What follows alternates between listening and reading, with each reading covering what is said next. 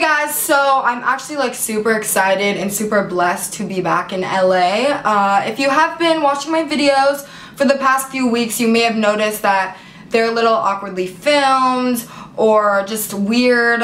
Well, that's because I was in Seattle for like almost a month because I got my wisdom teeth pulled. I kind of wanted to talk about that whole story and whole situation because it was so terrible and traumatic and just what I'm hoping for this specific video is to maybe help one or two people so they don't have to go through the pain that I was in. Because I had not been in that much pain probably like my whole life. Swear, I swear. Long story short, growing up, like my teeth were very, very small. I have kind of a wider mouth, but my teeth are small. So the dentist, the orthodontist all kind of thought like, oh yeah, um, it's not gonna be a problem. If it does start to become a problem, you know, we'll sign you up, uh, like just get you scheduled to get them removed, blah, blah, blah. I don't know if they actually just told me that when I was younger because they did, my dentist knew that I literally was terrified of the dentist. So maybe they were just telling me that when I was younger, you know, um, just because like they didn't want to freak me out or anything. So I never really thought that my wisdom teeth were a problem. You know, they kind of came in with my regular molars. Just felt normal because they've been in my mouth since I was like in seventh grade. They started growing. Also, like my teeth, I've just been really blessed with terrible teeth. Not that I don't brush my teeth or anything. Obviously I do. I take care of my teeth. I don't know if it's genetics or what, but I've just always had the worst luck with cavities, fillings, literally every single tooth of mine has a cavity and I still have to go back to Seattle to get fillings. Fuck my life. I'm also someone that likes to avoid things. So yeah, I did do this to myself basically. Before I moved to LA, I had gone to the dentist. I had to get a lot of fillings done, but since there was just so many, like I was moving to LA, I had lockjaw because of braces, and it was just like, oh my gosh, like I'm just gonna, I'm, screw it, I'm, I'm just gonna come back you know, and get the fillings done later on. Let me just move to LA, you know? Who wants to go to the dentist? I never went around to getting those cavities filled. Um, I've been out in LA for what, almost two years? So it had been two years, but I started to feel pain, which I was really freaking out, like, holy shit, like, if I have a root canal, I'm going to die. Like, I was like, I don't want to get a root canal. I noticed that my gums started really bleeding. Since my mouth has always been, like, sensitive, I was like, okay, like, maybe it's fine. I started getting a lot of pain, like, right down here. I looked in my mouth and saw that my wisdom tooth was literally, like, impacted in my jaw. And there was, like, it was all ripped. And then I just started getting major pressure, like, within my like molars, like the back molars, but it just started to get so freaking bad that I was like, no way. When I call my mom or say that I need a doctor and I need to go immediately, that's when you know something's wrong. Everyone in my family knows that, my friends know that. If I say like, yo, take me to the doctors now, they're like, okay, shit, this bitch should have been going to the doctor months ago because she just, she let it go that far because I'm so I couldn't sleep, I couldn't do anything. And then finally, I call my dad, I call my mom, I book a flight, I tell them I'm coming to Seattle to get my wisdom teeth removed. Someone call the freaking dentist, someone schedule me appointments, because I'm coming right now. I cannot wait. Like literally called, booked the flight within three hours I was at the airport. So I'm literally sitting on the plane, right? About to take off and I get a text message oh, looks like you got a call back from an audition that you did. I was like, I was like, what? And it says, oh yeah, your callback time is tomorrow at 2.30 p.m. I was like, I'm on a plane. What? I didn't think I got a callback. This was even, this was my first audition and I had gotten a callback. Didn't think I was going to get a call back because it was one of my first auditions and I was just like, what? I was aware that the shooting date was like that coming weekend, but since I hadn't heard from them and it was like later in the week, I was like, okay, like I didn't get it, like I'm fine, like I'm in so much pain, I'm just gonna leave. But I called my manager and I was like, uh, I'm literally sitting on a plane right now. I didn't know that I was gonna get a call back, because I had so much anxiety and stuff, the way that I put it, it kind of sounded like I already knew that I was getting this procedure done, blah, blah, blah. I didn't really mention that it was an emergency when I was on the phone because talking on the phone gives me anxiety, especially when I have to tell someone like that I might not be able to make something. Like I was just freaking out. I didn't want to make my managers look bad. They sent me to this audition and then I get a call back and then I'm like, I can't show up. Like I was like, oh my goodness. I didn't want anyone to think like, oh, she's not really, um, she doesn't really take this stuff seriously. Um, so I literally get off the plane, I land in Seattle, go home for like five minutes, book a flight five hours later. Everyone's like, health should come first, blah, blah, blah. I was like, I'm fine. Like, the thing is like this weekend, the callback's tomorrow. I can do it. I'm tough. I've been holding it off for so long.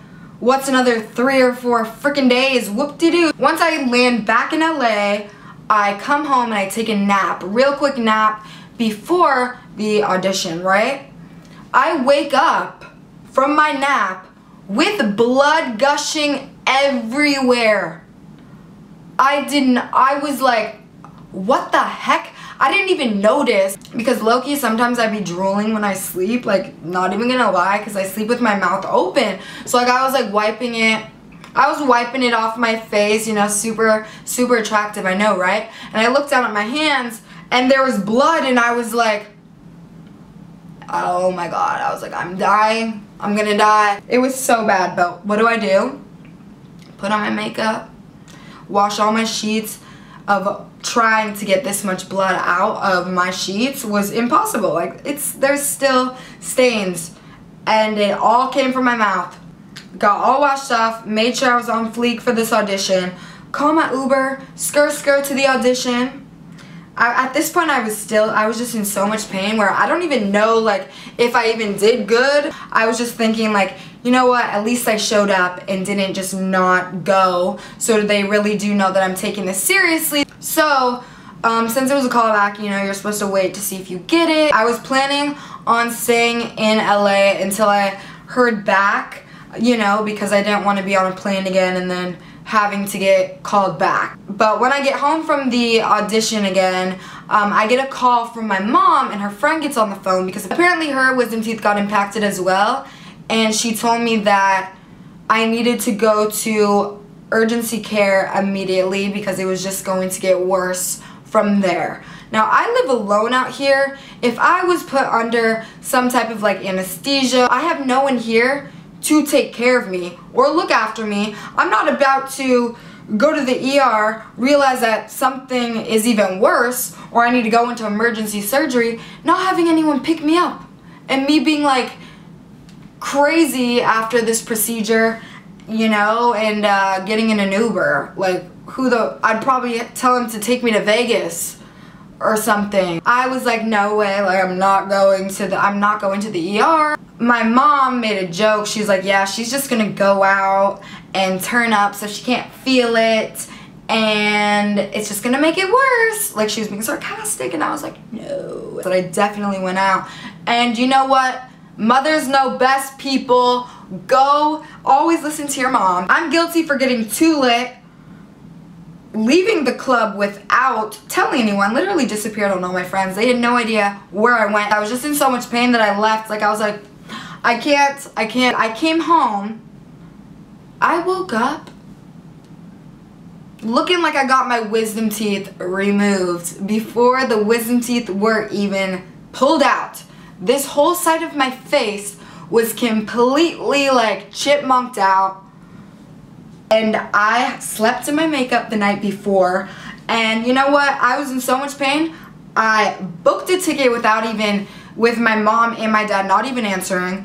Texted my manager saying hey I'm sorry but I'm in so much pain. I need to go to Seattle. Like there's no way I can do anything um, at this point I actually was starting to have trouble breathing because my throat started swelling from the infection in my mouth. Yes, I it ended up starting to get infected, um, which was great.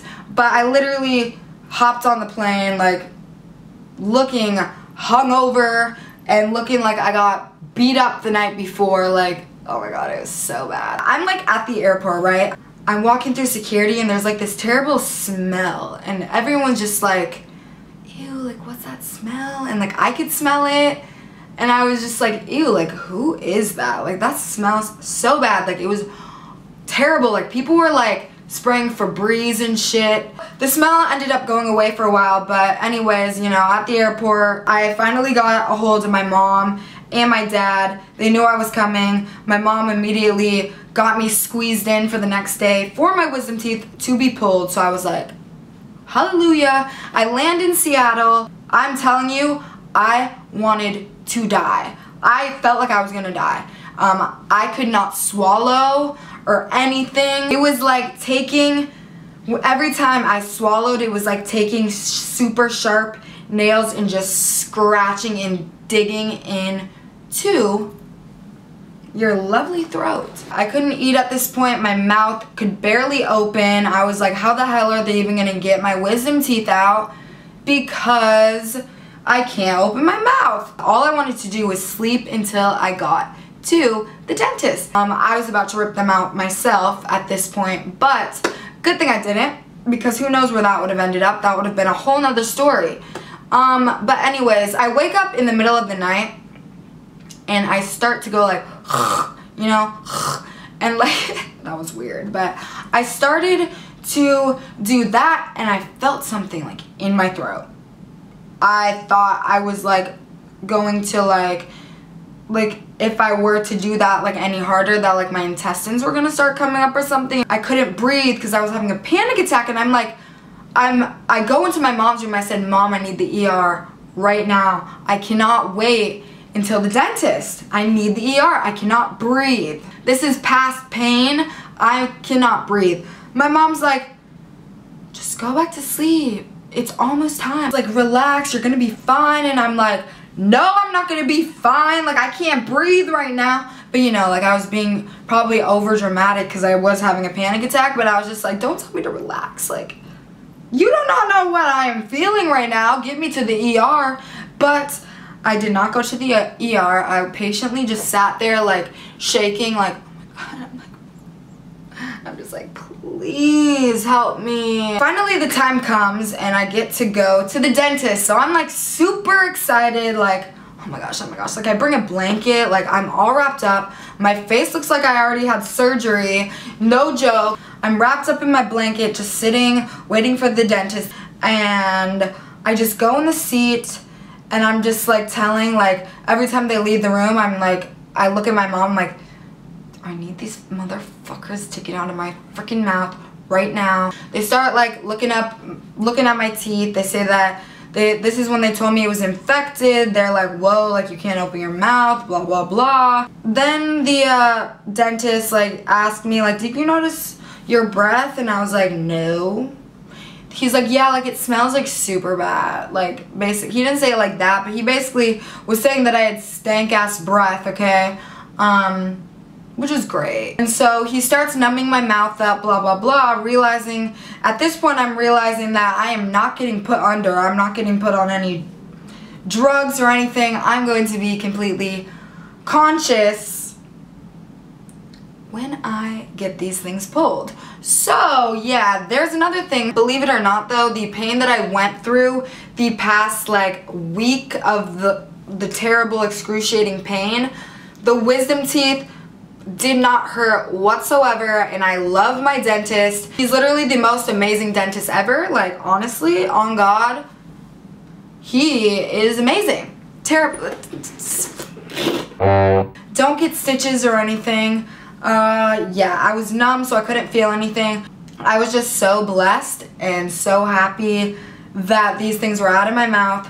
My face at this point really was swollen. Once I was done, I was all like, I went home and the pain, I'm not gonna lie, it did start to hurt afterwards. I took some like painkillers, um, not like a crazy amount. The healing process, obviously, I had to sleep with like gauze and have gauze in my mouth because obviously I didn't have stitches, it just bled a lot. I was wearing a jacket to sleep and like I was like sleeping like this and I started, I literally smelled it, right? I was like, what the fuck? The smell at the airport was literally my breath. So I had people at the airport for breathing my breath. So I don't even know how long I was having like stank breath. So do not allow your wisdom teeth to get impacted because you will be in living hell. And yeah, take care of your mouth, take care of your health and do that because I learned my lesson and just say, you know what, I'm in pain. The doctor, you know, like that's what they're there for, to help you. I feel free. My mouth feels free. Not only did my mouth just feel so tight because they were all impacted, but like now I just feel like woo, I feel lit, you know? That's it for this video. Make sure to follow me on all my social media links. They will all be linked down below in the description box. Yeah. Um, subscribe to this channel if you haven't already, and I'll talk to you guys next time. Bye!